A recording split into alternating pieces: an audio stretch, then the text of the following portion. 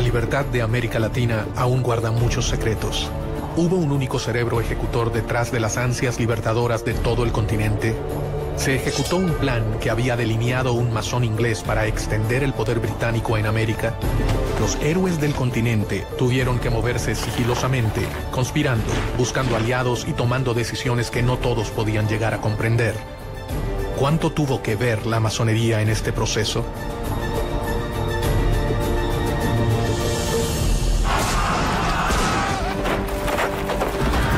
Máximos libertadores de América, Simón Bolívar y José de San Martín, se reunieron una vez en su vida, a solas, a puertas cerradas en la ciudad de Guayaquil. Gran parte de la vida de los héroes transcurrió en un secreto absoluto. Sin embargo, nada es tan secreto como lo que ocurrió en aquella reunión. Se supone que discutieron los planes finales para la derrota de los españoles. ¿Cuál es la verdad sobre el rol de las sociedades secretas en la historia de la independencia de Latinoamérica? América no se hubiera independizado, sea la norte, sea la central, sea la del sur, si la masonería no hubiera intervenido.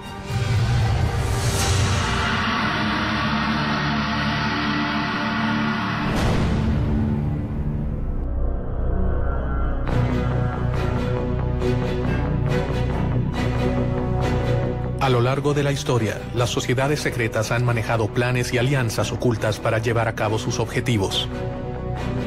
Archivos y documentos revelan una historia paralela al relato tradicional de la emancipación de América. Sospechosamente, estas sociedades nacieron en Inglaterra, el reino que con más énfasis reclamaba mayor participación en América. Inglaterra veía a América como una oportunidad para expandir sus colonias. La monarquía española tenía un monopolio comercial con sus colonias en América y no permitía comercio directo de sus colonias con ninguna otra monarquía ni con ningún otro imperio.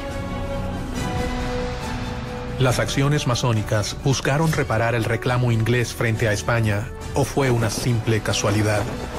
Gran Bretaña tenía un problema muy serio porque nosotros éramos consumidores, pero que no podíamos consumir si no fuera a través del contrabando.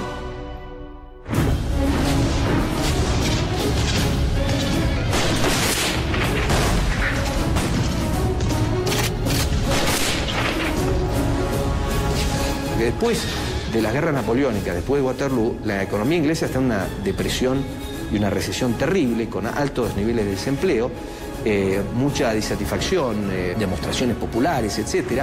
Y la industria está como parada. Entonces, para Inglaterra, los puertos de las colonias españolas son extremadamente importantes.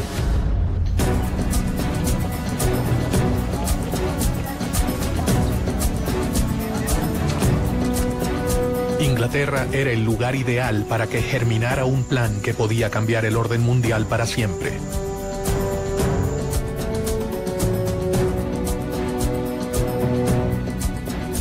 Este contexto, un venezolano conspiró contra el orden establecido. Francisco de Miranda. Miranda se va a convertir prácticamente en el americano más universal de su tiempo, en el criollo de mayor visión universal y de mayor preparación.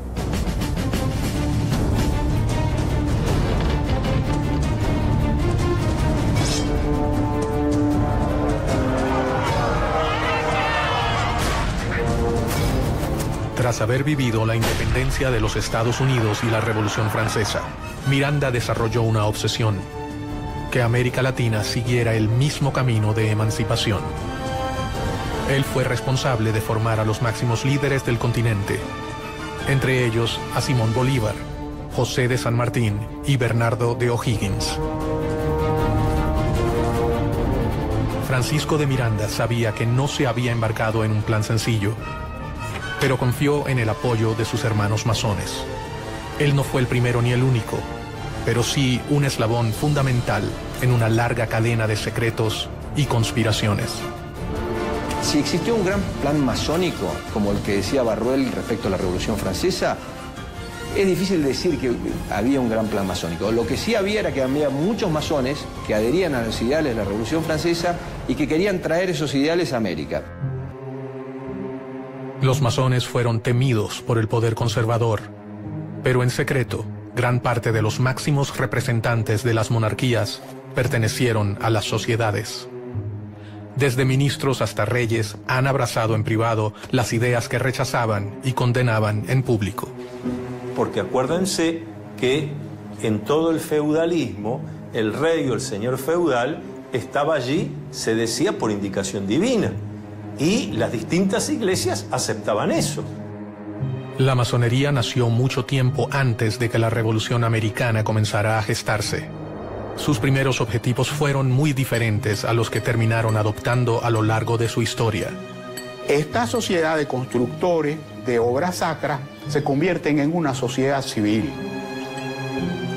Es al mismo tiempo un centro de reunión para personas instruidas, para personas con, unas, con un cierto nivel educativo, con una cierta preparación.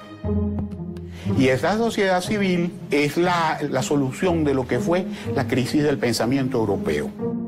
Es un espacio para el diálogo y para el cuestionamiento de elementos que hasta entonces habían sido pilares indiscutibles del orden político y social. Hacia fines del 1500, las sociedades masónicas eran una verdadera amenaza para los detentores del poder conservador.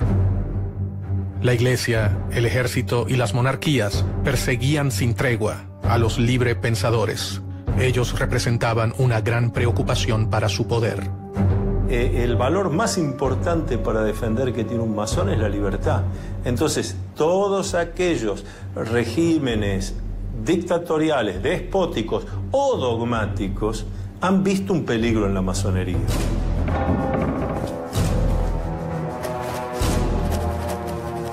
Clandestinamente, sin revelar sus verdaderas intenciones, los masones comenzaron a escalar posiciones en las estructuras tradicionales de poder. Los personajes políticos más importantes que se unen en la masonería lo hacen generando una especie de clientela política dentro de los masones y al mismo tiempo tratando de descubrir toda esta parte secreta, atractiva, interesante que proporciona la masonería. Fue en Inglaterra en donde las logias comenzaron a afianzarse en el poder, de la mano del rey Guillermo III. La masonería inglesa es una masonería simbólica, tiene solo tres grados, y los, los masones ingleses son hombres honorables que no conspiran ni contra la religión ni contra el rey.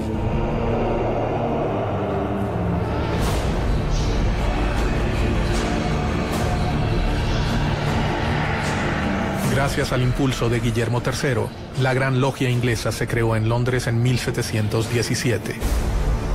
Ella sería fundamental para el resto de las sociedades. A partir de la Gran Logia Unida de Inglaterra aparece el libre y aceptado masón. Es decir, es el que se inicia en la orden, pero que ya no se va a ocupar de las construcciones externas, sino de una construcción interna, una construcción espiritual e intelectual. El poder de reclutamiento llegaría a niveles que los masones jamás habrían soñado.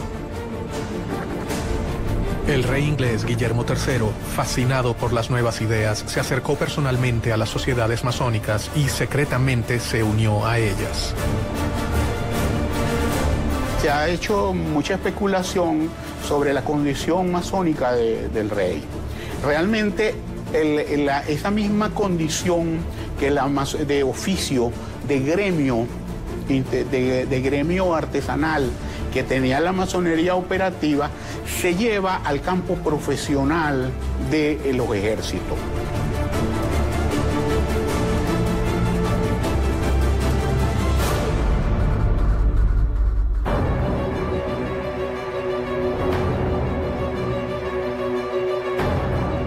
El accionar del rey inglés traería nuevos aires para la masonería europea.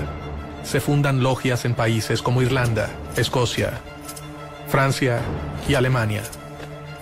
En 1726, la Gran Logia Inglesa abrió una sucursal en Gibraltar y en 1728 en Madrid y en Portugal.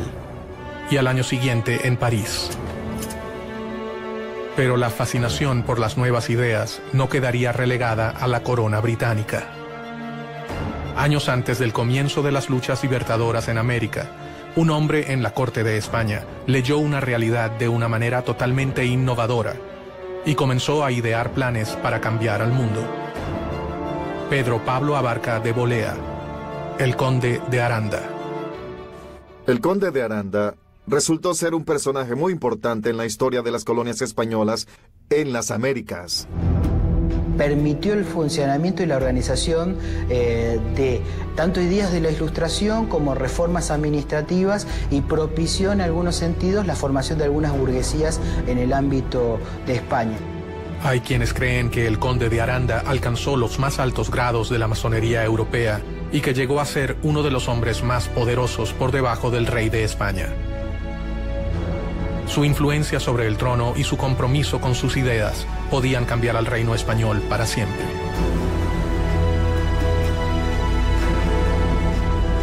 Con su consejo, es probable que hasta el propio rey Carlos III haya formado parte de la masonería española. Carlos III es el monarca que decide implantar lo que se conoce en la historia española como las reformas borbónicas. Las reformas que impulsó Carlos III eh, afectaron a las colonias en cuanto a su administración, a la división geográfica y al rol que cumplía la iglesia en aquella época. Una de las principales reformas borbónicas es limitar el poder de la Iglesia Católica en los territorios americanos y en la misma península. Si realmente existió un plan para que Inglaterra ganara ventaja en América, con la masonería implantada en la corte española, este acababa de comenzar. Un rey podía ser la pieza fundamental para acabar con el reino ibérico. Estaban a punto de sembrarse las semillas de un plan que podía acabar con el imperio español en América.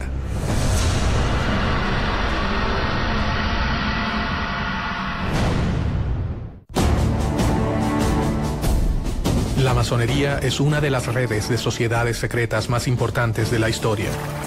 Su organización cambió el rumbo de las relaciones entre América y Europa. Los grandes líderes de la independencia americana eran masones. Miranda, San Martín, Bolívar y O'Higgins fueron grandes maestros.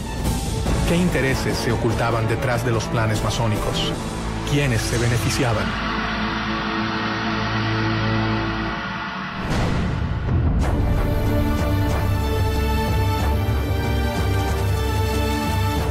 Las Cortes Europeas para mediados del 1700.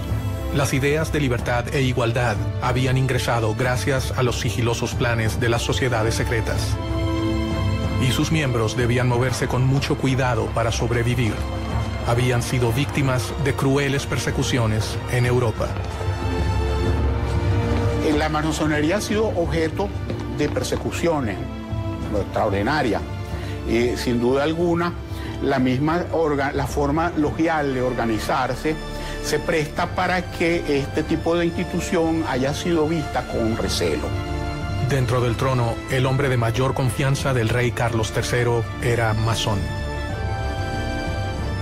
El conde de Aranda había logrado que sus ideas influenciaran a la corona, pero si era descubierto, perdería, además de sus cargos, su vida.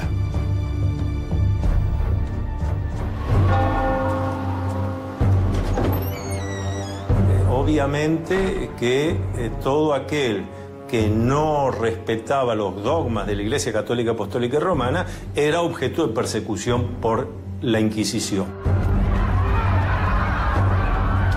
La iglesia tenía para los masones, eh, bueno, eh, eso era las mismas causas de herejía o la podría ser hasta la hoguera. Ningún masón podía violar los secretos de la orden y cualquier desliz podría finalizar en la muerte. En masonería existe un juramento de conservar el secreto. Y aquel que viola ese secreto, en el ritual de iniciación y en el ritual del juramento, Se afirma que será castigado cortándole la lengua, tirando sus cenizas al mar, en fin, una serie de castigos muy violentos que son, desde luego, de orden simbólico. El objetivo de esta enorme cadena de secretos no era proteger a la persona, sino al cargo que esa persona había conseguido para la orden.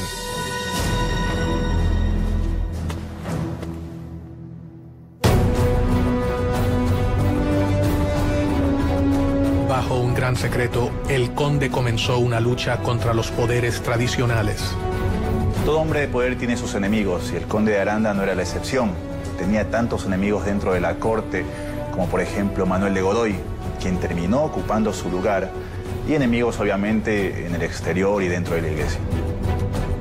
En medio de aquellos cambios comenzó a firmar resoluciones que atacaban directamente a su enemigo más poderoso, la iglesia. Una de las principales reformas borbónicas es limitar el poder de la Iglesia Católica en los territorios americanos y en la misma península. Por consiguiente, el conde de Aranda y muchos otros miembros de la corte y el rey Carlos III deciden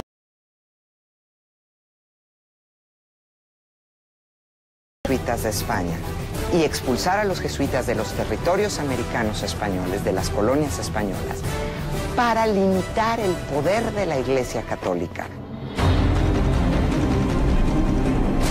América era un lugar lejano y complejo. Allí se mezclaban los poderes otorgados a los virreyes con el poder de la iglesia y las fuerzas extranjeras que buscaban beneficiarse, y los poderes que diferentes órdenes religiosas habían instaurado en el nuevo continente, especialmente los jesuitas. Ellos habían fundado ciudades, misiones y universidades, un gran ejército que respondería ante la voz de los seguidores de San Ignacio de Loyola. Aranda era un tipo brillante y él sabía, estaba consciente de las dificultades que implicaba gobernar territorios tan vastos como eran los territorios americanos y tan diversos desde la península. El conde de Aranda debía debilitar a sus oponentes si quería reducir el riesgo que corrían las logias. Y comenzó a pergeñar un plan secreto. Piensa que la mejor opción es dividir a América en tres reinos independientes, gobernados por un miembro de la familia reinante, de preferencia por un hijo del rey e implantar estos reinos independientes con una relación directa con España. Esto era para tener una relación más fluida con respecto al comercio y para que las decisiones no tardaran meses en llegar o inclusive años. ¿Cuáles eran los verdaderos planes de Aranda? ¿Fortalecer a un imperio español o liberar a América para que pudiera comerciar libremente con Inglaterra? Los principales agentes de la época eran ingleses o franceses. Por tanto, aprovecharse de la posición de poder a fin de alcanzar el objetivo no era para nada descabellado. Fueran cuales fueran las verdaderas intenciones del conde de Aranda, sus ideas tenían fuertes detractores. Debía minar el poder de sus adversarios para que sus planes pudieran concretarse.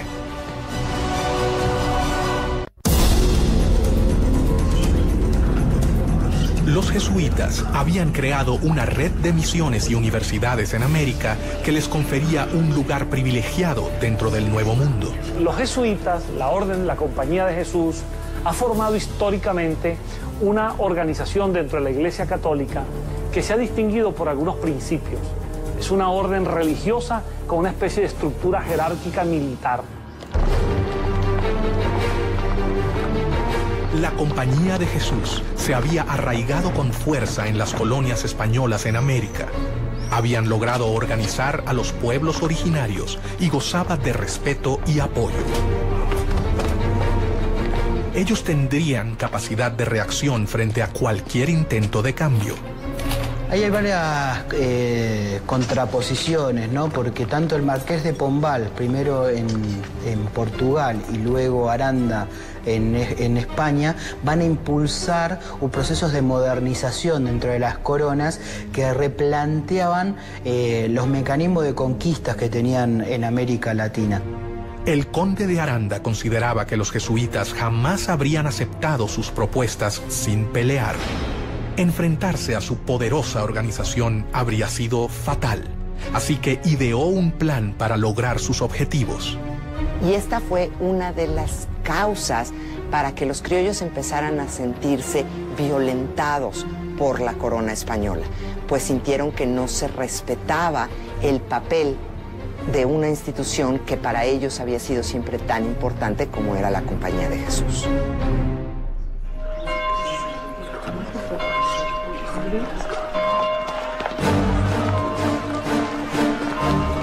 La expulsión de los jesuitas fue una de las obras masónicas más decisivas y mejor orquestadas de la historia. Un hecho que terminaría colaborando directamente con la independencia de las colonias americanas. ¿Cómo hacen para la expulsión de los jesuitas? Fue un, plan coordinado de una manera extraordinaria.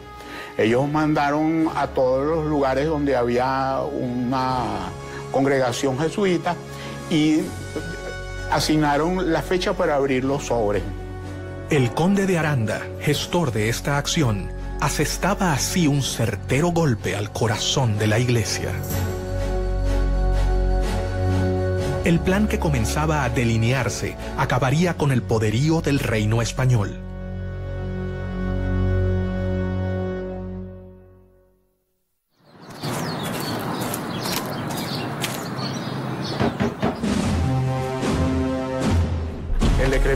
Carlos III precisamente ordenaba que se abrieran los sobres ese día para que la, operación no tuviera ningún tipo de resistencia. Al, decreto de decir se abren los sobres, entonces esa era la gran noticia y la gran noticia era que iban a ser expulsados de América todos los jesuitas. Pero en el momento que abrieron los sobres, en esa fecha que se abrieron los sobres en toda América, en 24 horas estaban montados los, los jesuitas en los barcos y salían con destino al otro lado del Atlántico. Aranda había sentado las bases para terminar con las colonias españolas en América. Sin embargo, él nunca se imaginó que su plan se pudiera volver contra su propio reino. O si lo sabía y todo fue un plan británico para poder obtener ventajas en las colonias americanas?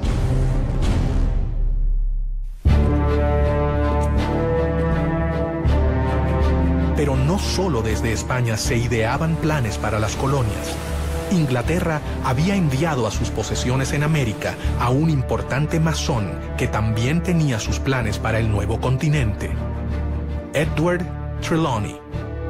Él fue el gobernador británico de Jamaica entre 1738 y 1750 aproximadamente. A partir de 1739, en la isla de Jamaica, se instaló la primera filial de la Gran Logia de Inglaterra, una de las primeras al sur de Norteamérica. La masonería llegó a América desde fechas muy tempranas. Llegó primeramente a Estados Unidos, en 730 la trajo Benjamin Franklin a las 13 colonias americanas y se extendió bastante en las colonias norteamericanas. Posteriormente arribó a mediados del siglo XVIII a algunas de las colonias inglesas, especialmente a Jamaica. De la mano de muchos ingleses como Trelawney, las sociedades arribaron a América y desde allí dieron inicio a sus objetivos. La masonería estaba fortalecida en Inglaterra, así que Londres sería el lugar perfecto para ejecutar cualquier tipo de conspiración que los favoreciera. Inglaterra nunca ha tenido en política exterior razones idealistas. Inglaterra ha tenido siempre intereses. Después de la independencia de sus colonias americanas, Inglaterra ve necesaria la exploración de nuevos horizontes. Trelawney tenía un plan que elaboró detalladamente durante los 15 años que gobernó la isla. España debía compartir los beneficios de las colonias de América con la corona británica. Trelawney creía que España no tenía los derechos comerciales exclusivos con América. La situación del monopolio comercial de España era completamente injusta. Él manejaba dos opciones.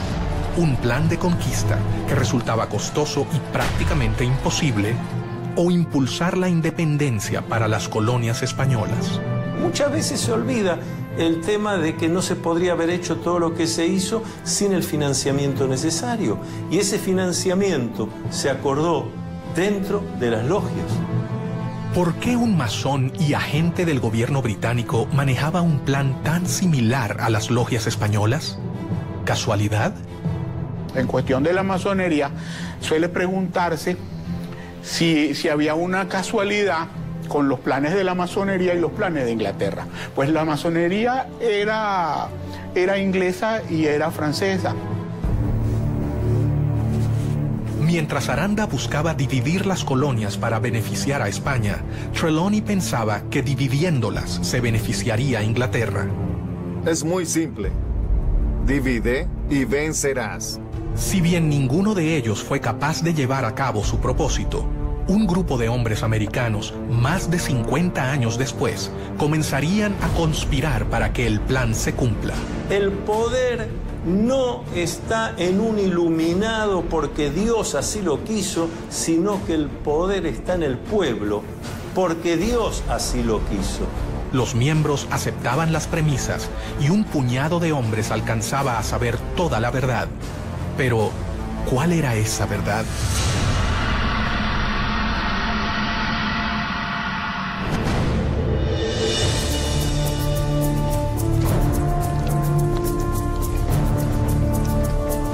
Los librepensadores llevaban a cabo una batalla interminable y desigual con la Iglesia. Si bien ésta había llegado al continente para evangelizarlo, ciertamente no tenía el mismo poder represivo que en los países de origen. El despotismo ilustrado tenía un plan para elaborar su crecimiento comercial, su, incorporación a lo que era la evolución hacia el capitalismo y la iglesia tenía sus planes a largo plazo. En paralelo a la llegada de las logias al continente, los jóvenes americanos viajaban de América a Europa con el fin de transformarse en los administradores de las colonias españolas en el Nuevo Mundo. Francisco de Miranda fue el primero en llegar. Unos años más tarde viajarían Bernardo de O'Higgins, José de San Martín, Simón Bolívar, Andrés Bello López, entre otros. Otra vez, el lugar de reunión de todos ellos sería Londres. ¿La corona británica estaba interesada en promover a los jóvenes americanos? Muchos de los jóvenes americanos se van a estudiar a Europa. Muchos de ellos también están buscando una educación más cercana a la ilustración. Inglaterra siempre fue un lugar donde podían desarrollarse diferentes ideas. En Europa se encontraron con una realidad totalmente diferente a la que esperaban hallar. Están buscando una educación más cuestionadora, menos vinculada con la iglesia, menos vinculada con el conocimiento tradicional. Y es en Inglaterra en donde hay un foco cultural, social, político, donde se está gestando el seno de este pensamiento ilustrado. Los jóvenes que partieron con el fin de realizar estudios formales terminaron convirtiéndose en los héroes de la independencia o en las manos operativas de un plan que había comenzado a forjarse antes de sus propios nacimientos. Casi se podría decir que Inglaterra funcionó con esta fórmula. Inglaterra le brindaba apoyo a Miranda. Francisco de Miranda, el americano más universal, se convertiría en una pieza clave de los planes independentistas. Miranda es un personaje muy interesante, porque es un personaje que tiene una carrera increíble antes de llegar a América, antes de llegar a, tratar de impulsar la independencia de América. Es general del ejército francés, pelea en la Revolución Francesa, pasa por la corte de, Catalina la Grande en San Petersburgo, eh, vive en Londres y se conecta y se, está mano a mano con personajes importantísimos de la política inglesa. Miranda fue el padre de la independencia del continente, uno de sus ideólogos, protagonista de sus batallas y personaje fundamental en el diseño de una estrategia para llevarla a cabo.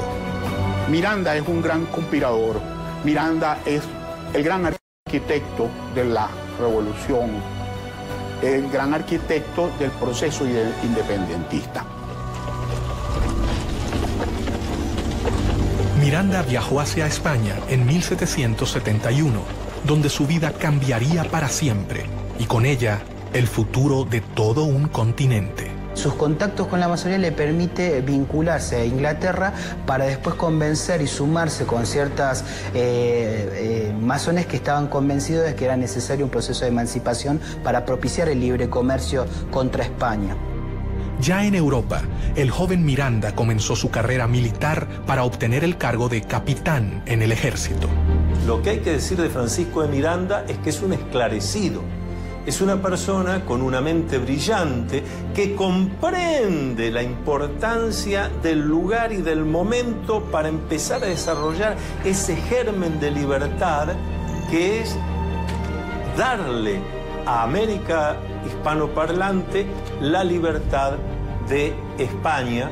Paralelamente, se deslumbró con las nuevas ideas que se estaban gestando en el viejo continente Miranda fue un político, un militar, un diplomático, un escritor, pero ante todo fue un gran humanista. Comenzó a armar su propia biblioteca, adquiriendo las obras de los pensadores más importantes de la época, lo que más tarde le traería innumerables problemas. Miranda, allí en España, eh, se había interesado en la lectura de obras eh, prohibidas, eh, tipo político, filosófico, de los, de los enciclopedistas, de los ilustrados, y la Inquisición estaba muy pendiente de las personas como él que leían estas obras. Poco a poco, Francisco de Miranda comenzó a forjarse un nombre, pero una acusación cambiaría el rumbo de su vida para siempre. La Inquisición estaba dateada, vamos a decirlo así, o le, pasaban información de parte de los rivales eh, militares que tenía Miranda. Se le acusaba de tener eh, libros prohibidos y por eso tuvo que mm, prácticamente venirse con, con Cajigal. Cajigal hace una jugada que, le permite a Miranda escapar de la, de la Inquisición.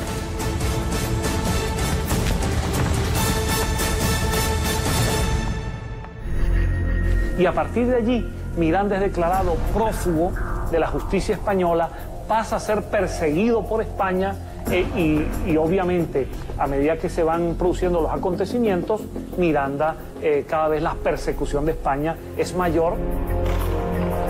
El 10 de julio de 1783 llega a los Estados Unidos. Ya se ha producido la declaración de la independencia, el hecho independentista de, Estados Unidos, y Miranda se apasiona por ese proceso. Y Miranda va a viajar por distintas ciudades de los Estados Unidos, eh, tratando de tomar contacto con esa realidad, eh, con las causas que llevaron a la independencia, con la manera como los Estados Unidos de América se ha independizado de, Inglaterra y sobre todo toma contacto con los ideales de los independentistas norteamericanos. En Estados Unidos, Miranda terminaría de comprender qué debía hacer. Había llegado al país que acababa de independizarse y allí conoció a los grandes protagonistas de la independencia. Especialmente trabó relación con George Washington tuvo entrevistas con líderes como Jefferson, Hamilton, Knox, es decir, con figuras muy importantes en la conducción del nuevo país independiente en Norteamérica. No se sabe exactamente dónde se inició el general Francisco de Miranda como masón. Algunos historiadores afirman que fue en 1774, en Madrid, y según el rito York.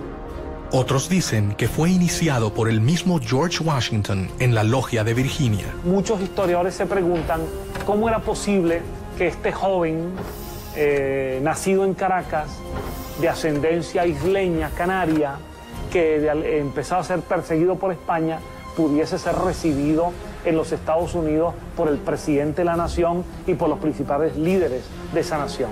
De allí nace, entre muchos historiadores, la posibilidad de que Miranda en esa relación haya estado apoyado por la masonería. Su futuro comenzaba a dibujarse. El hombre que había servido al ejército español alrededor del mundo estaba por transformarse en la pieza clave para que perdieran sus colonias en América.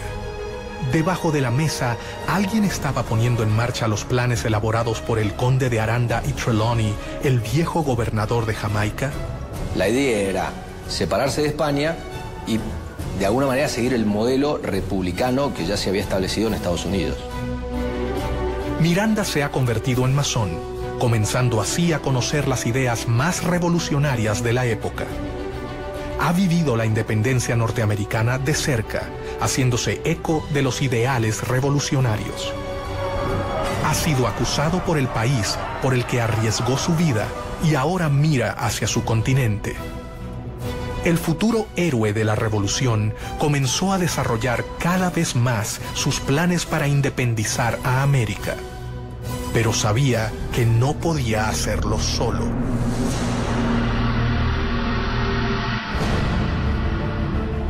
En su afán por independizar a América Latina de España, en diciembre de 1784, Miranda partió de Boston a Londres y de allí viajó por varios países de Europa.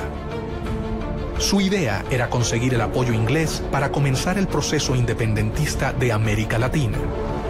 En Londres, Miranda hallaría la tierra fértil que necesitaba para cumplir con su objetivo. Inglaterra había encontrado al hombre que finalmente los haría desembarcar en las colonias americanas. Miranda sí utilizó a Inglaterra, en el sentido de que Londres le sirvió de base de operaciones durante muchos años en el sentido de que Pitt le dio algunos respaldos económicos indirectos, en el sentido de que hubo figuras del gobierno inglés que le apoyaron. Miranda decidió recorrer diferentes países europeos en búsqueda de apoyo para su plan. Y allí también, en las distintas logias europeas, que Miranda visitó y en algunas de las cuales tuvo que estar bastante tiempo para convencer, para contestar preguntas, para ver cómo se podía hacer, para trabajar sobre mapas, etc. Allí también fue descubriendo quiénes eran los hermanos que tenía sentido que vinieran a América para ayudar, cuáles convenía que se quedaran allá y cuáles no se podía contar. En 1792 se encontraba en París, donde estaba en pleno desarrollo la Revolución Francesa. Sin dudarlo, Miranda decidió ponerse al servicio del gobierno revolucionario. Por segunda vez en su vida, se encontraba en contacto con ideales revolucionarios llevados a cabo por logias masónicas. Es que América dependía eh, totalmente lo que sucedía en Europa. América no tenía entidad política propia. América, para entender lo que pasaba en América, había que entender lo que pasaba en Europa. Y hasta 1815 Europa tiene una figura central que es Napoleón. Entonces, volviendo a la masonería, hay dos países donde la masonería tiene una importantísima influencia, Estados Unidos y Francia.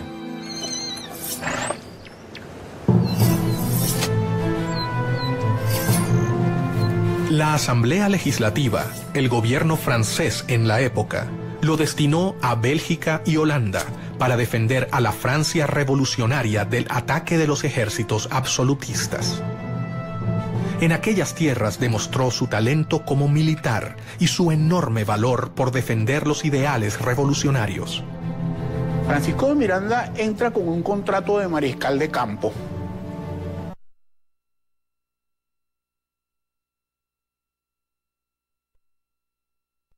Parte activa en este proceso. Es muy interesante porque el, el sector al cual mm, Miranda está vinculado es al de los girondinos y en Caracas se le acusaba más tarde de jacobino. Gracias a su aporte en Francia, Miranda se convirtió en el único latinoamericano cuyo nombre figura en el Arco del Triunfo.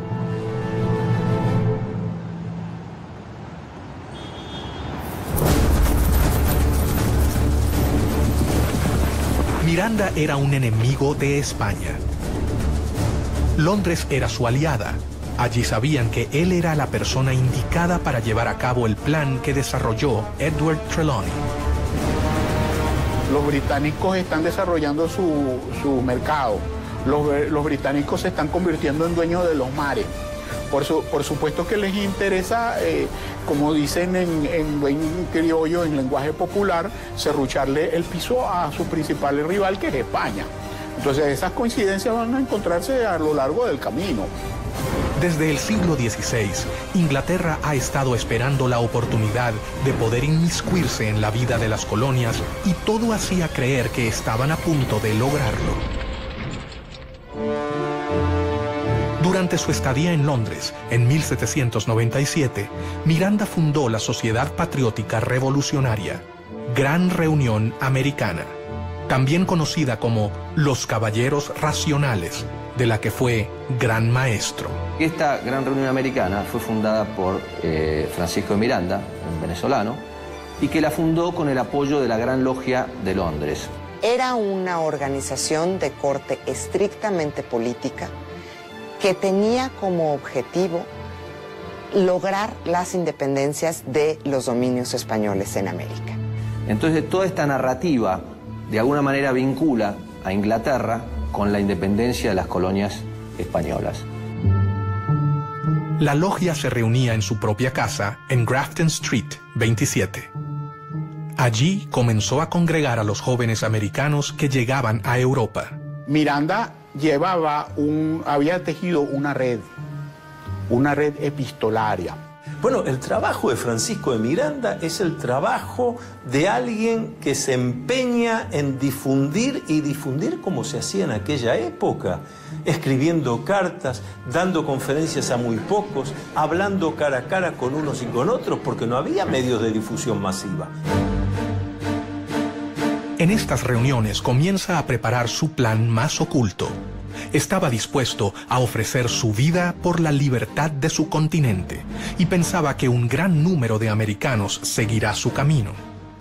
La masonería le había enseñado el modo más seguro y efectivo de que sus planes llegaran a concretarse. La Gran Reunión Americana fue la simiente de una serie de agrupaciones que se establecieron por toda España, después en Sudamérica, en Nueva España, e incluso en Estados Unidos y en Londres.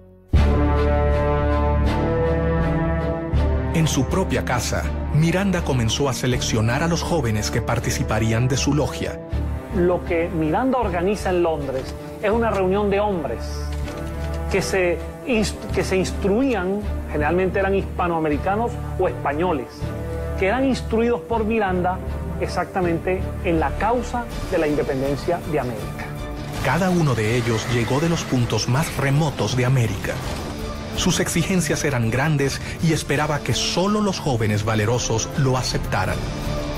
Los candidatos a iniciarse en la masonería por lo general son personas que viven en un lugar y que pueden asistir a, las tenidas regularmente durante un tiempo indefinido. A diferencia del conde de Aranda, Miranda contaba entre sus tropas con una gran cantidad de jesuitas, alrededor de 300. Durante el proceso de la independencia de Hispanoamérica, numerosos jesuitas participaron activamente en favor de la causa independentista, a diferencia del clero tradicional español que en líneas generales reflejaba los intereses de la monarquía. Él intercedió directamente ante el ministro William Pitt para que fueran benévolos con ellos. Cuando algunos jesuitas fueron capturados eh, dentro de los conflictos entre Inglaterra y España, algunos de sus jesuitas eran mirandinos, eran favorables a la causa de Miranda. Y Miranda intervino ante Pitt para que los liberara. Más rápidamente de lo que creían, los enemigos de España se unían. Increíblemente, el plan del conde de Aranda estaba por tomar forma, pero no se realizaría para proteger al reino.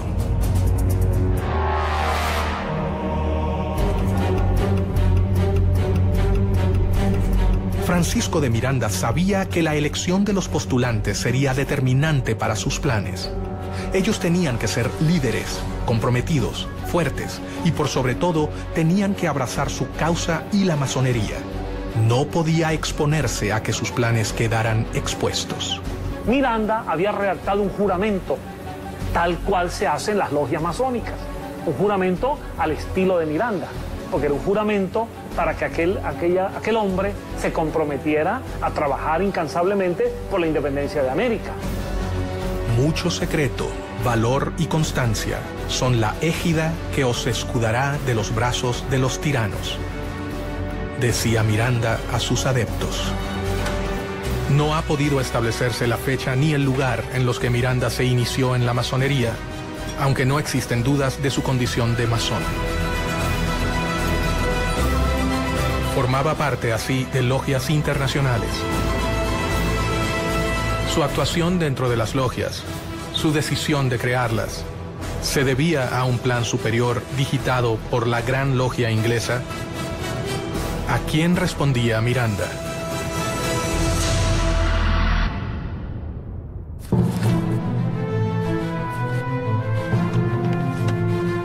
Casualidad o no, el plan elaborado por Miranda y las logias parecía responder palmo a palmo al plan creado cerca de medio siglo antes por otro masón, perteneciente a la Gran Logia de Inglaterra, el gobernador de Jamaica, Edward Trelawney. Si bien se parecen en cuanto al rol del comercio en América y en cuanto a quién sería el más beneficiado, divergen con respecto a su finalidad. A diferencia de Trelawney y del conde de Aranda, Miranda puso en práctica lo que otros solo habían pensado. Es una época en la que se está dando una transición de un mundo constituido por instituciones, de una sociedad corporativa a una sociedad, sociedad más individual.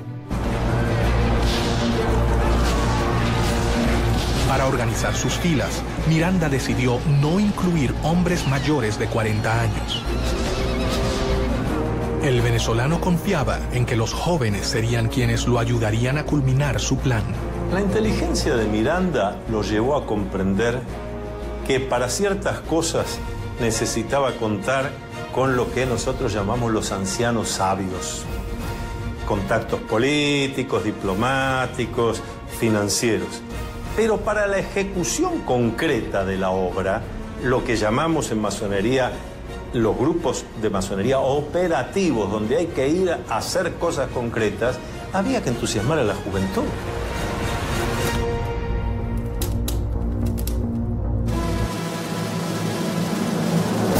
Poco a poco un plan se hacía evidente. Los intentos de Inglaterra por invadir las colonias americanas fallaban. Solo quedaba la oportunidad de la conspiración a través de las logias conformadas por los mismos americanos. Recordemos que al mismo tiempo, Inglaterra siempre estaba intentando cualquier tipo de invasión de las colonias americanas. E Inglaterra poco a poco intentaba sustraer algunos territorios dentro de, ese vasta, eh, de esa vasta expansión continental que era Hispanoamérica. Era como una obsesión de adueñarse de nuevas tierras. Las diferentes logias mirandistas que se habían creado en Europa comenzaron a trabajar en pos de la emancipación de América. La logia más decisiva en la liberación del continente fue la logia Lautaro. Las logias Lautaro empiezan con una logia madre establecida en Sudamérica. Se considera, pero no hay certeza, que quien establece esta logia madre fue José de San Martín. Eh, se, se nos ha preguntado muchas veces sobre si esas logias funcionaban igual que cualquier otra logia masónica. Sí en cuanto a los rituales, sí en cuanto a que tenían palabras, toques, secretos para identificarse, pero exclusivamente dedicadas al análisis de cómo se iba a conseguir la independencia de la corona española. Bernardo de O'Higgins y José de San Martín, sin dudas, fueron los dos hombres fundamentales para el funcionamiento de la logia. Para afiliarse a Lautaro, había que ser americano y jurar luchar por la independencia. Su lema era unión, fuerza y virtud, y en las comunicaciones usaban el símbolo masónico OO. Y sigue la misma estructura de los caballeros racionales, copiando la estructura masónica, con miembros que eran masones, como Carlos Alvear, y que establecen una logia principal que se convierte en la Gran Logia. Miranda se había asegurado de reclutar a los jóvenes americanos más prominentes que se encontraban en Europa. El sistema masónico aseguraba protección, anonimato y sobre todo la posibilidad de complotar en las sombras contra el poder establecido.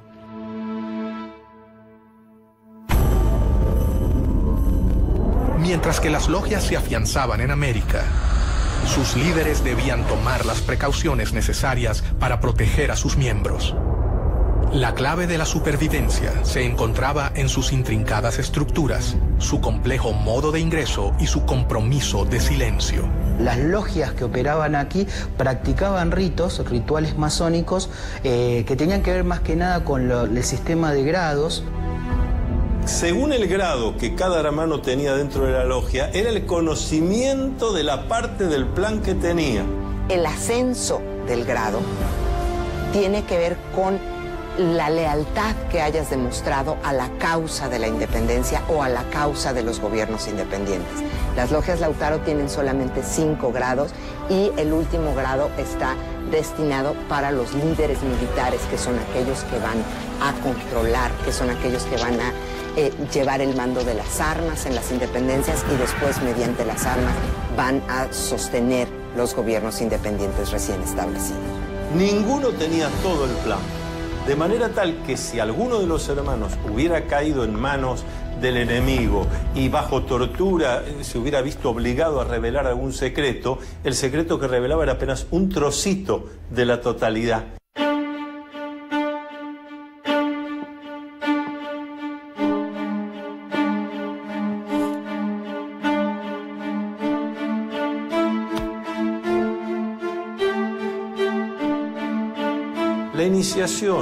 Es una serie de situaciones que va a atravesar el candidato donde se va a enfrentar con cosas que le dan miedo, porque el miedo está para ser enfrentado.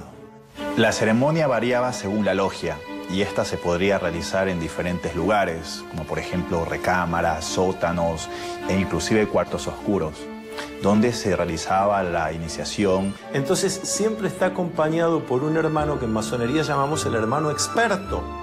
Es el que lo acompaña. No hace el trabajo por el candidato. El candidato lo tendrá que hacer.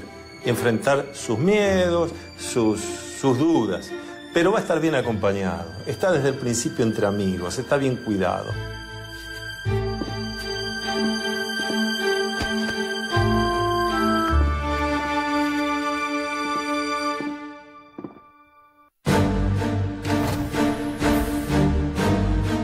De los primeros en unirse a la logia fue Bernardo de O'Higgins. O'Higgins era hijo natural de Ambrosio O'Higgins, virrey del Perú. José de San Martín, eh, O'Higgins, eh, Simón Bolívar y tantos otros masones han recibido la influencia de Miranda de una manera eh, muy concreta, muy, muy, positiva, porque son los que después llevan a la práctica con las armas la posibilidad de lograr países democráticos en América. A los 15 años fue enviado a estudiar a Londres y allí conoció a Miranda. Miranda le inculca a O'Higgins, a través del diálogo, a través de la lectura, dos cosas fundamentales. Ideas de libertad y espíritu de lucha. Para lo cual Miranda llega a convertirse en un completo maestro para O'Higgins. 1801, Miranda le encomendó a O'Higgins que fundara una logia Lautaro de caballeros racionales en Cádiz. Hay tres documentos importantes sobre la Sociedad de Caballeros Racionales y esos documentos de alguna manera nos dan algunas pautas de lo que pudo haber sido esta sociedad, qué vinculación tuvo con la masonería y qué vinculación tuvo con la logia Lautaro. Miranda le escribió un texto que concluía, Leed este papel todos los días durante vuestra navegación y destruidlo enseguida, No olvidéis ni la Inquisición, ni sus espías, ni sus sótanos, ni sus suplicios. En logias como las lautarinas, los secretos eran más imprescindibles, porque ahí había una guerra. Entonces, en medio de una guerra había eh, necesarios los secretos, la inteligencia, la contrainteligencia. La logia comenzaba a convocar a los jóvenes más prometedores del continente, quienes estaban unidos entre sí por un lazo mucho más grande que el de la voluntad política. Ellos compartían todo un sistema secreto de fraternidad y solidaridad que habían comenzado a completar con un solo objetivo, terminar el dominio español en el continente.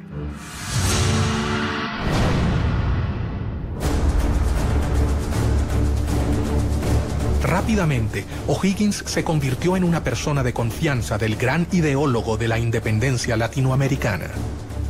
En una de las tertulias que solían compartir, Bernardo le narró la historia del cacique Lautaro. Miranda, inspirado en su vida, bautizó así su logia. En homenaje a un cacique de un pueblo originario de nombre Lautaro, que había combatido y había muerto peleando eh, contra el ejército español del rey.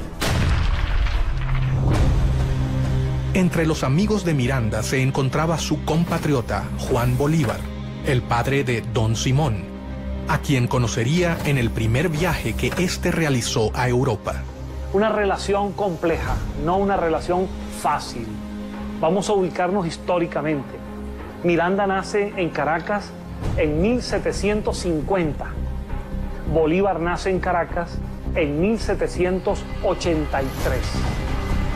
Cuando Bolívar está naciendo en Caracas, Miranda está en los Estados Unidos, concibiendo a sus 33 años toda la relación de conocimiento de la independencia de los Estados Unidos y proyectando su lucha eh, independentista en América. De modo que la diferencia de 33 años es muy significativa para entender la relación entre estos dos gigantes de la independencia americana. Bolívar llegó a Cádiz en 1803 y rápidamente fue admitido en la sucursal de la Gran Logia Americana, la Sociedad de Caballeros Racionales. Mientras que sus seguidores comenzaban a prepararse en Europa, Miranda decidió intentar realizar la primera revolución. El objetivo sería su país natal, Venezuela. Se habla de un intento fallido una intentona golpista incluso de, Francisco de Miranda en Coro y, y en Ocumare. Esto es una historia muy interesante porque ahí hay un inicio de la independencia. Para ello, primero viajó a New York. En los Estados Unidos, él concibe eh, una expedición con la cual invadir las costas venezolanas y él pensaba que desde allí se iba a incendiar la pradera iba a lograr que los pobladores lo vieran a él como un redentor, como un liberador, y a partir de allí se iba a producir un estallido de independencia en Venezuela y en el continente. En febrero de 1806 partió rumbo a Venezuela con tres barcos, uno de ellos llamado Leandro, por su hijo. La guerra había comenzado. esos tres barcos que él arma antes que él termine de armarlo, ya la comunicación de Estados Unidos a España y de España a las colonias había llegado. Pero la primera expedición se frustraría antes de su inicio.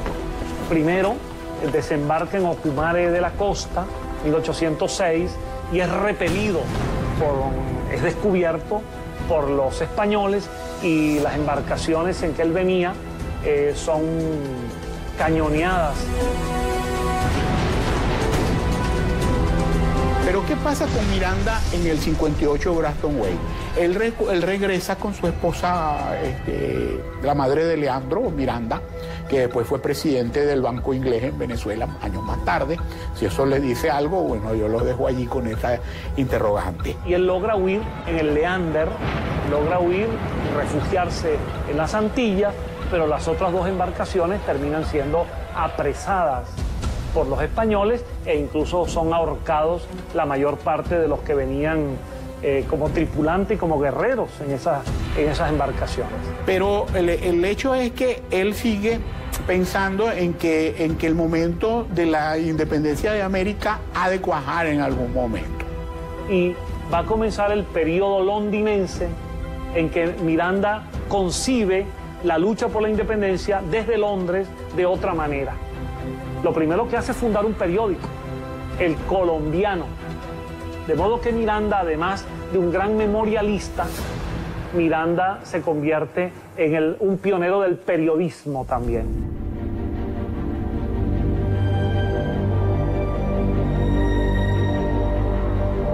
En 1806, Bolívar recibió el grado tercero, o maestro, en la logia simbólica London número 5 de Inglaterra. En 1810, en Londres, Miranda le confirió el supremo grado de iniciación en la Gran Logia Americana y juntos fundaron la Logia Protectora de las Virtudes número 1 en el oriente de Barcelona, Venezuela. Bolívar estaba totalmente convencido de que todos debían dar su vida por la causa americana. Simón Bolívar eh, también va a ser una figura clave en el proceso emancipatorio del norte y de hecho también después va a tener eh, eh, contraposiciones y discusiones con los masones porque va a terminar prohibiendo el funcionamiento de la masonería en Colombia, sabiendo que después también los masones podían conspirar contra él convencido de sus planes de liberación del continente y de que el complot secreto era la mejor manera de lograrlo, Miranda continuó reclutando miembros para su causa. Uno de ellos fue José de San Martín, gestor de la independencia de Argentina, Chile y Perú. San Martín llegó a Londres 10 años después de que partiera O'Higgins. Algunos historiadores señalan que el paso de San Martín por Inglaterra es muy significativo porque es precisamente allí en donde él se reúne con intelectuales, con políticos, para discutir el tema de la independencia de las colonias. Durante la campaña había conocido a Lord Macduff, un noble escocés que lo introdujo en el mundo masón en general y en la causa americana impulsada por Miranda.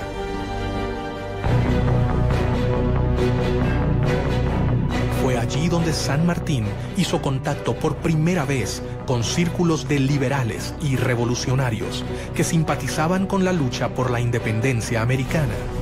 Si San Martín fue un agente inglés, es una gran pregunta. A los pocos que han sostenido que es así, han, tenido que ser, eh, han sufrido la ira del dogma sanmartiniano. ¿Cómo poder decir un semejante cosa? El centro de difusión y reclutamiento continuaba siendo Londres. Allí, según algunas fuentes, San Martín se reunió con sus compatriotas Alvear y Sapiola. ¿Por qué razón San Martín se incorpora a esta logia? Es otro de los grandes misterios. Se incorpora después de haber estado casi un año en los campamentos del ejército inglés en Portugal. ¿Cuánto sabía el reino inglés de lo que sucedía dentro de su territorio? La realidad es que tenemos que entender qué es lo que significa la palabra agente. Lo que queda claro de a cualquiera que lee la correspondencia diplomática y los archivos ingleses es que San Martín era un anglófilo.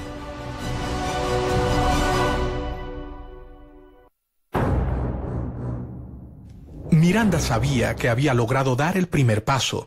Las logias en Europa se fortalecieron y sus miembros estaban totalmente convencidos de la necesidad de la independencia.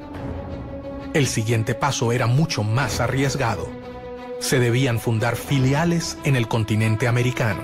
Se establece una gran logia principal que se considera la logia madre y después se van estableciendo logias y grandes logias por todos los territorios sudamericanos y se vuelve la estructura en la que se apoyan estos líderes para atraer partidarios, para agrupar en esas logias a todos los que están buscando las independencias eh, hispanoamericanas y una vez que se consiguen, para endoctrinar en los nuevos principios republicanos, liberales, a los que van a ser los líderes, los directores, los gobernadores de, las, de los nuevos países hispanoamericanos que se establecerán inmediatamente después de la consecución de las independencias.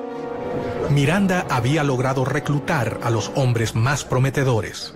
Su plan estaba en marcha, pero el poder de España era superior a la resistencia que podían brindarle los futuros ejércitos revolucionarios. La realidad es que era una conspiración lo que querían los, caballeros racionales, porque de alguna manera estaban conspirando contra el rey de España, porque querían implantar en América la independencia y la constitución. Y eso era anatema para el sistema monárquico. Los viajes de formación de los jóvenes latinoamericanos en Europa tocaban su fin. Tras haber concluido sus estudios militares y haberse formado en las ideas del humanismo, los futuros administradores de las colonias volvían a sus hogares, pero no regresaban con la idea de mantener la administración colonial. Ellos regresaban con un nuevo objetivo, liberar a sus tierras de España. Miranda lo había logrado una compleja red de sociedades se había formado a lo largo de todo el continente. La independencia latinoamericana estaba en camino.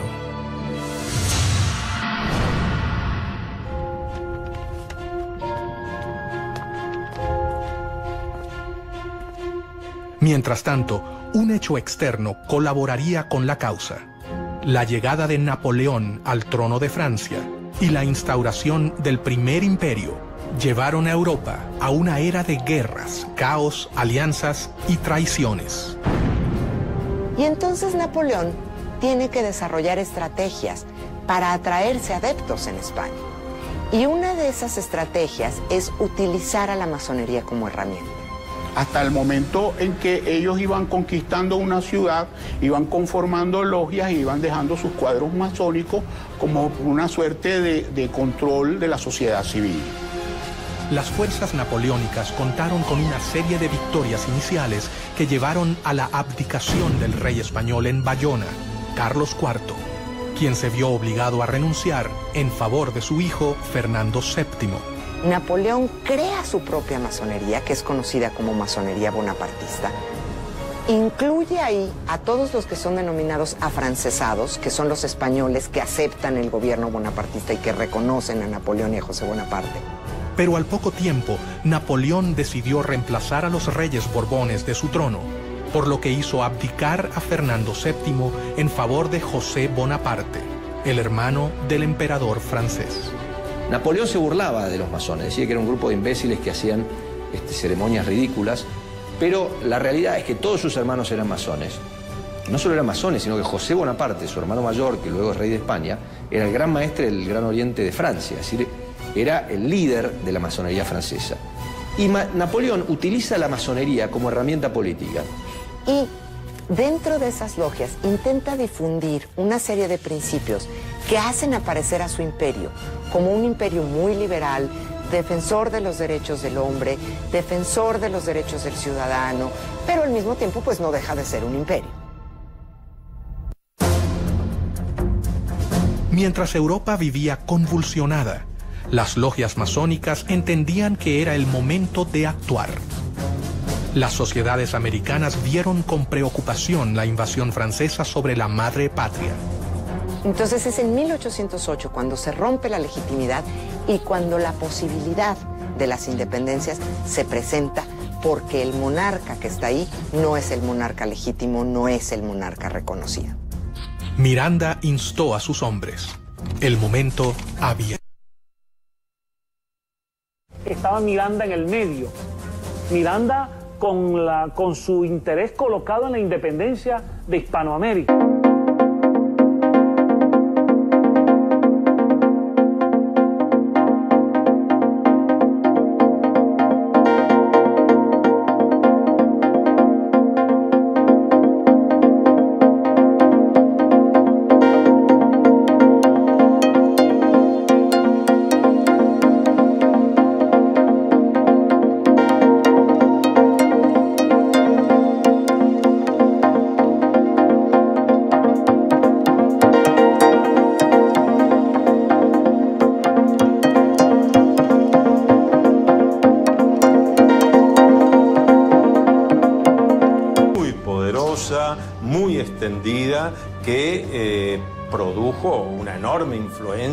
En toda la política de México y, y del resto de América Central eh, hasta la actualidad. Los masones mexicanos fueron los primeros en entrar en acción. En 1810, Querétaro era el principal centro de la conspiración para llevar a cabo la independencia política del país.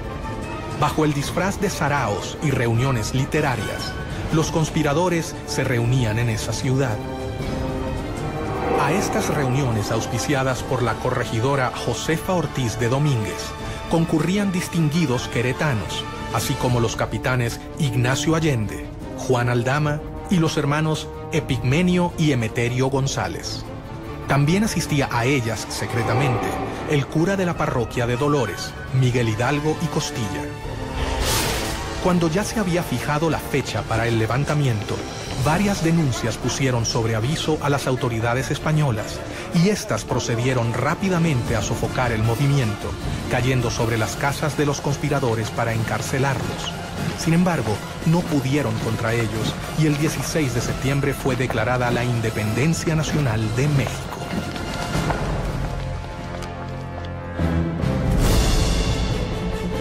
Bolívar y Miranda se reunieron en Londres, dispuestos a no posponer más sus planes independentistas. De hecho, el joven Bolívar toma la iniciativa, no autorizada por la Junta de Caracas, de invitar a Miranda a volver a Caracas.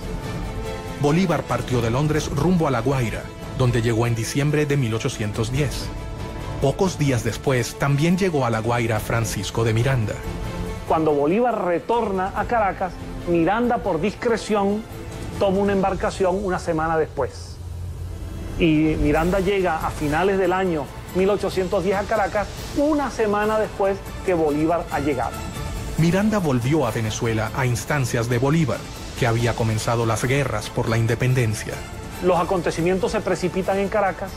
El 5 de julio de 1811, el Congreso de Venezuela se, firma el acta de la independencia, se declara entonces formalmente lo que ya casi casi venía desde el año anterior y se firma la independencia de Venezuela.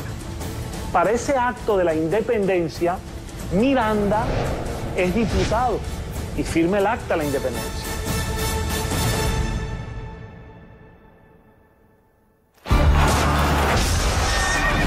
Miranda fue nombrado generalísimo del ejército venezolano, pero tras una serie de reveses militares tuvo que capitular. Una de las causas que han forzado a Miranda a capitular es la pérdida de Puerto Cabello, que era la primera plaza militar de Venezuela. ¿Y quién estaba al frente de la plaza de Puerto Cabello? El coronel Simón Bolívar. Miranda y otros 400 patriotas a los que al capitular se les había prometido la posibilidad de exiliarse fueron apresados. Fue tomado prisionero por un grupo de oficiales venezolanos, entre ellos Simón Bolívar. Y cuando ve a Bolívar, a Miguel Peña y a otros más que lo estaban deteniendo, Miranda exclama en una de las frases que más ha marcado el destino venezolano, una frase dramática hasta el día de hoy. Miranda dice, bochinche, bochinche. Este pueblo lo único que sabe hacer es bochinche. Y finalmente Bolívar es un agente, de, eh, un agente histórico de aquellos que lamentablemente eh, intervinieron para que Miranda fuese detenido. Eh, en mi opinión, uno, un verdadero lunar en la historia de Simón Bolívar, la detención.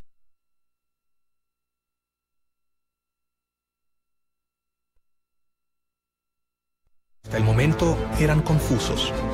El plan había sido preparado paciente y ordenadamente.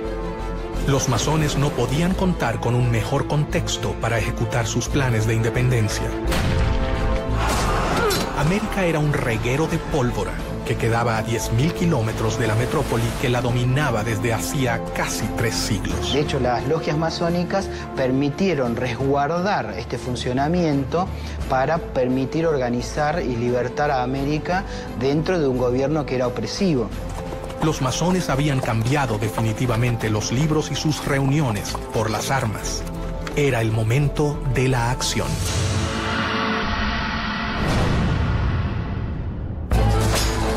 caudillos se destacan en los ejércitos libertadores, dos discípulos de Francisco de Miranda, José de San Martín, quien desde el Río de la Plata sube hacia el norte, y Simón Bolívar, que lleva la revolución en sentido inverso, desde Venezuela. El ataque al poder podía triunfar si se hacía en simultáneo, como si fuera un plan orquestado. José de San Martín fue iniciado en una logia en Cádiz, España. Eh, desarrolló toda su carrera masónica hasta llegar al grado de maestro masón, porque él había hecho un juramento. Como militar, él había jurado defender al rey de España y a lo que el rey de España dispusiera. Y ahí se ve la grandeza masónica de San Martín, que a pesar de en ese momento ser atacado por muchos de los que hasta ese momento habían sido sus compañeros, él decide ponerse por encima y hacer lo que había que hacer. El cónsul norteamericano en Buenos Aires, a principios de 1819, dice claramente, hasta ahora, el principal aliado de Inglaterra en esta parte del mundo es San Martín. De hecho, hay cartas del cónsul inglés en Buenos Aires, Robert Staples, en el año 1817, en donde se reúne con San Martín y San Martín le dice que San Martín le pide que Inglaterra le haga llegar a él en privado sus puntos de vista de cómo tiene que seguir el, el tema de la revolución. Pero Fernando VII logró regresar a su trono y cuando lo hizo, consciente del poder de las logias, instaló nuevamente el régimen absolutista.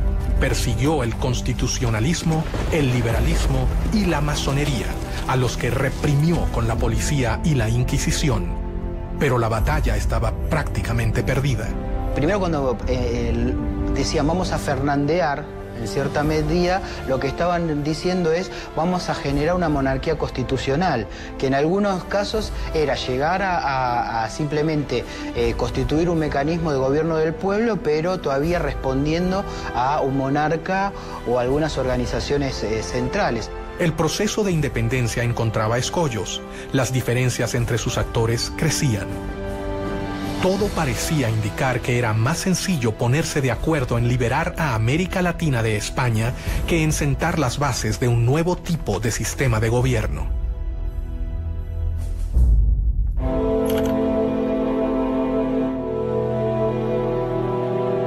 Mientras sus hombres cumplían un sueño de más de 100 años de espera, Miranda fue trasladado a España y murió en una cárcel antes de que la emancipación finalizase.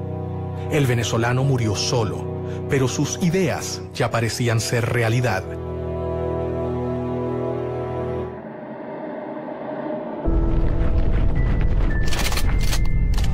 Los conflictos en Europa y España ocurrían tal y como lo había previsto Pedro Pablo, conde de Aranda, cuando sostuvo ante el rey Carlos III Jamás han podido conservarse por mucho tiempo posesiones tan vastas colocadas a tan gran distancia de la metrópoli. Sin embargo, no se transformaban en reinos leales al imperio español. Todas estas diferencias marcan en cierta medida también eh, algunos posicionamientos de intereses que tenían cada uno de los grupos, tanto regionales como de las alianzas estratégicas a nivel internacional que tienen cada uno de ellos.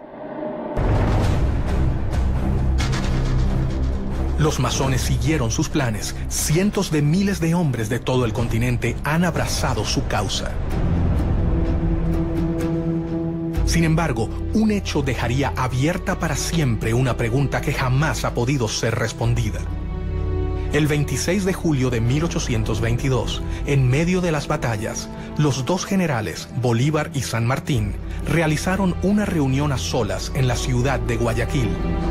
Era evidente, era necesario que se reuniesen los dos grandes libertadores, Bolívar y San Martín, que hasta ese momento no se conocían personalmente. Este va a ser su primer y único encuentro en 1822. Ellos conversaron y esas palabras que nadie jamás supo cambiarán la historia del continente. ¿Qué ha pasado ahí? ¿Qué ocurrió? Se ha especulado mucho, pero no lo sabemos. Pero no lo sabemos precisamente porque como buenos masones eh, conocían todos los secretos y algo los lleva a tomar esas decisiones. Bajo una de las versiones más popularizadas, por ejemplo, en la Argentina, la, influencia inglesa fue bastante nefasta y de alguna manera impidió que San Martín terminara su tarea liberadora y que de alguna manera lo forzó a retirarse de América en su entrevista con Bolívar. Tras conversar a solas, los hombres se despidieron. Pero al salir, la realidad había cambiado. Bolívar finalizaría la gesta independentista. San Martín se retiraría a Europa. Yo no sé si San Martín era un agente inglés. Lo que sí sé es que San Martín era un hombre que tenía convicciones políticas muy conservadoras que era conveniente para eh, Inglaterra. ¿Tuvo algo que ver Inglaterra en esta reunión? El hecho es que los historiadores, algunos historiadores, han registrado que el propio saludo que se dan San Martín y Bolívar al conocerse en Guayaquil es un saludo típicamente masónico.